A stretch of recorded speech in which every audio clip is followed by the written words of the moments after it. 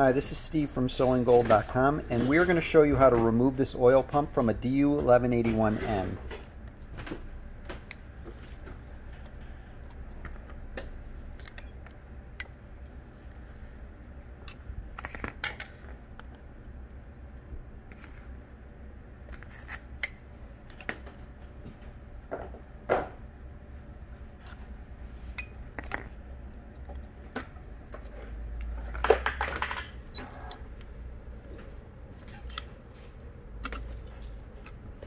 So if you could see that, Alberto was holding this piece here.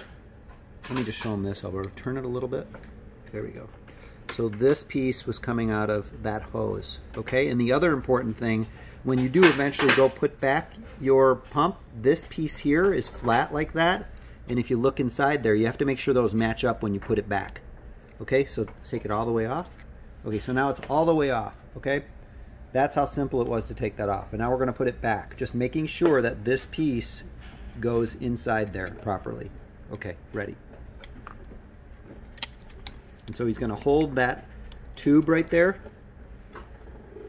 Okay. And then making sure that this piece here goes inside that brass looking piece.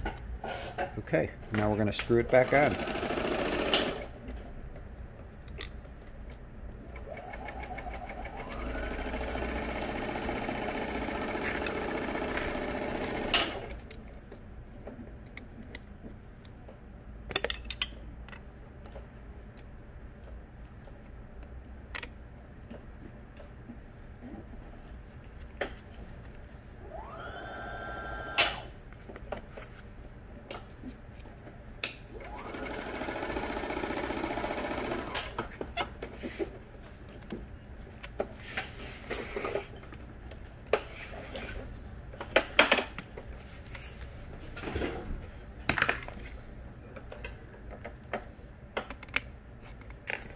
That's it. Now, just in case your tube doesn't come on and off easy like our, ours, you may have to heat it up a little bit.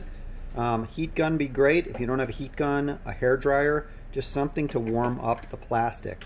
Uh, sometimes the older the machine, the more that, that the this hose will get a little brittle.